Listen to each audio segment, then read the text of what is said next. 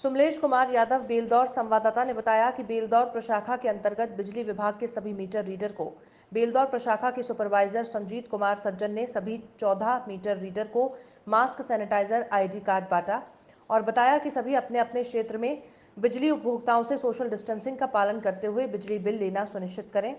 वहीं मौके पर उपस्थित विद्युत कर्मी मिथिलेश कुमार यादव, सौरभ कुमार सहित सभी मीटर रीडर उपस्थित थे।